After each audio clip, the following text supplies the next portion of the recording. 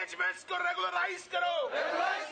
बंद करो। बंद करो बंद करो। जम्मू बंद करो। राज्य सरकार। मौजूदा सरकार ने 2015 का बजट पेश किया। उसमें ये ऐलान किया था कि 2015-16 जो है वो एयर ऑफ़ यूथ होगा।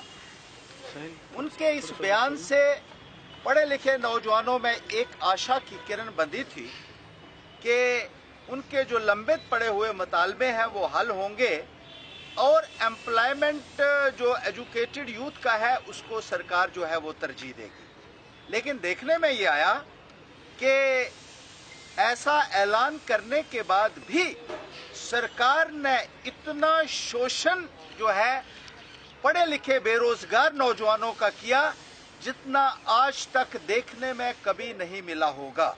एजुकेशनल इंस्टीट्यूशंस में उनको कंट्रेक्चुअल एम्प्लॉज का जो एक्ट बनाया गया है, उसके दायरे में लाकर इनकी सर्विसेज़ को रेगुलराइज किया जाए, इनके वेतन की वृद्धि हो और इनको किसी भी कीमत पे अगर आप बाहर निकालने की कोशिश करेंगे इतने सालों के बाद तो नौजवान जो है वो सड़कों पे उतरेगा और उसके लिए मौजूदा सरकार जो है वो जिम्मेदार होगी।